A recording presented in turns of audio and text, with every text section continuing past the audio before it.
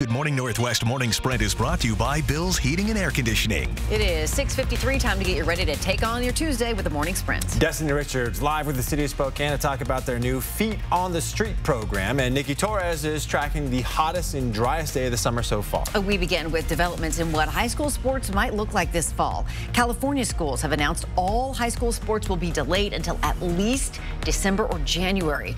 The decision affects 800,000 high school athletes, especially multi-sport athletes whose seasons will now overlap under the new schedule. This could be a sign of things to come in Washington as schools around the country look for guidance on how to proceed with athletics.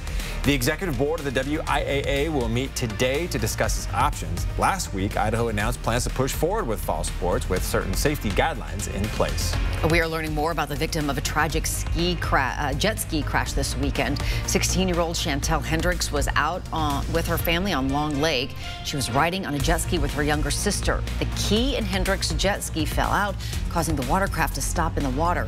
Her dad and stepmom were trailing behind them and were not able to stop fast enough before hitting Hendricks and her sister. Hendricks died instantly. Her little sister is in the hospital with serious injuries. People in Spokane and all around the nation were encouraged to walk off their jobs to support Black Lives. The national movement, Strike for Black Lives, brought activists to Riverfront Park with a list of demands. Sarah Dixit joined others in Spokane yesterday walking off of her job at Planned Parenthood something that's just seen in large cities or big things like that, that this is a local issue. It's an issue that everyone is yelling about and fighting about because it matters. Demonstrators are demanding justice and economic power for black communities, an end to corporate racism, and a $15 an hour minimum wage. Protesters march across the Monroe Street Bridge holding signs and chanting, I can't breathe. The demonstration lasted about an hour and remained peaceful. A guard at the Airway Heights Correctional Center may experience what life is like on the other side of the bars. According to court documents, investigators believe Michael Mattern smuggled Suboxone, heroin, and meth into the Airway Heights Correction Center in exchange for money, drugs, and sex. Mattern was arrested at the prison yesterday, and according to the complaint, during a search of his lunchbox, agents found Ziploc baggies holding what was later identified as meth. Heat is the big weather story for today. We are going to see 95 degrees here in Spokane. Other parts of the region might be a little bit warmer. Places like Moses Lake, Omak, and Lewiston, those places are going to see triple digits. But for us, 90 degrees for this afternoon. For that afternoon lunch hour, we are expecting more warm temperatures on the way.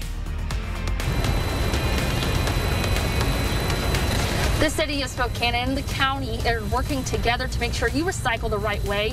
You might see these tags listing things that you shouldn't recycle on your recycle bin if you're not recycling what you should. But if you are, then it's all done. And these recycle cart taggers are going to be going out and checking to make sure everyone's recycling what they should up until September. If you have concerns about what should be recycled, just call 311. Coming up next on Good Morning America, new information on Kanye West's bizarre Twitter rant overnight. The rapper sounding off in some startling, now deleted tweets, some aimed at his wife, Kim Kardashian West, and her mom, Kris Jenner. This coming after a concerning rant at his first presidential campaign event. As a heat wave bears down over most of the country, experts have new concerns over air conditioning.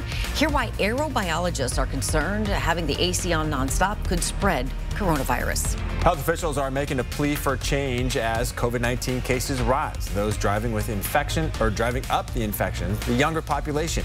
822 people between 20 and 29 years old have tested positive for the virus in Spokane County, nearly 30% of our cases.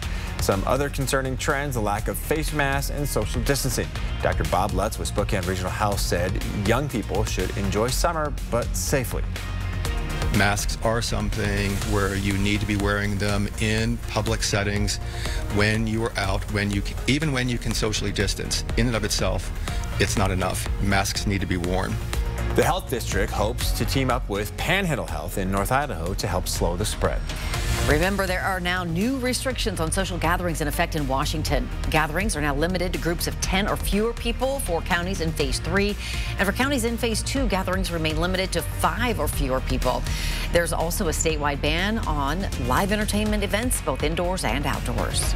There's a new effort to restore an old sign. The neon Ming Wah restaurant sign was around for decades until it was knocked down in a windstorm back in April. The restaurant's owner didn't expect the $30,000 replacement cost, and the insurance company is only willing to pay half.